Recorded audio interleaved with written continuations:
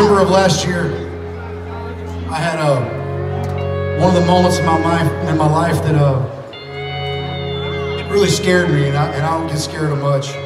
Um, I told myself I was only going to tell this story for so long because I didn't want to milk it. But uh, since we are recording a live album tonight, I figured I would share it with you.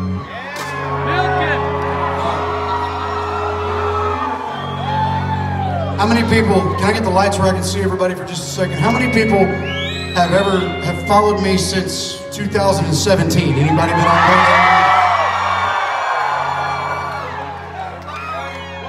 So in 2017, the pain started. I had pain in my neck, and uh, it would go down to my right arm, and it would make my right arm shake and tingle and burn, and uh, I just toughed through it. So if you've seen me play a show since 2017, you've seen me play in excruciating pain. And uh, it got to the point last year, last December, to where I couldn't move my right arm. I was at home, a little off time, and my arm would shake and burn so bad that I couldn't reach the doorknob on the, on the door to turn the doorknob. And uh, I was hurting so bad one day that my wife said, uh, That's enough. We're rushing you to Methodist Hospital in Houston, Texas. And uh, went down to one of the best surgeons in the world and he said, let's take an MRI and see what's going on. And when I came out of the MRI, he said, we're going to take you into emergency surgery within the hour. Uh, we're going to remove a part of your spine. He said, if we don't do this, you could possibly lose the function of your right arm for the rest of your life. You won't be able to use your right arm. And uh, I started thinking about little things like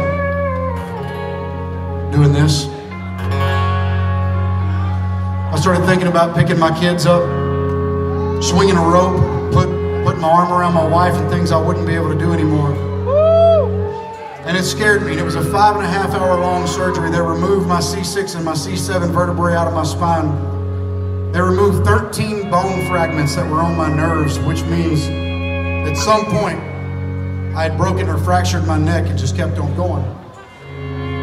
But whenever I started thinking about four months, there's no way I'm sitting still for four months. Four weeks later, I went out and saddled a horse and I said, see you later. And I picked up a guitar and I started playing because I could not wait to get back out here to see you again.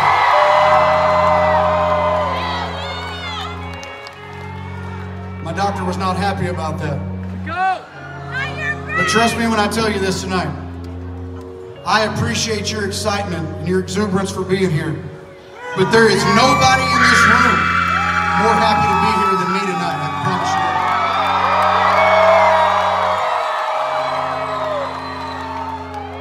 When you do what I do for a living, sometimes you can get sucked into the thinking, I'm Superman. I can do anything. I got it made. Look at all these people. I can do anything. When I had my neck surgery, I figured out real damn quick I am not Superman. And it made me start thinking, we all have one thing in common, no matter where we come from. We all have one thing in common. We're all still human. That's why I've chosen this song as our next single out to country radio.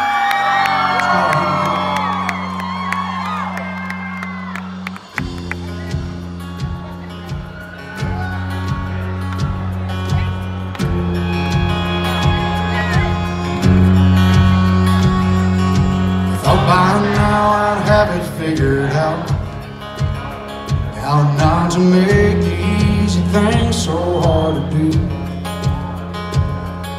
I bet that I'd be further down this road If I could read the signs that point me to the truth.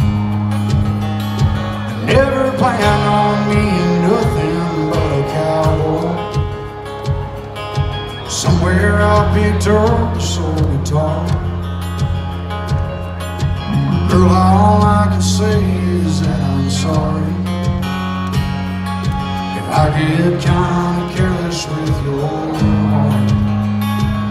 All the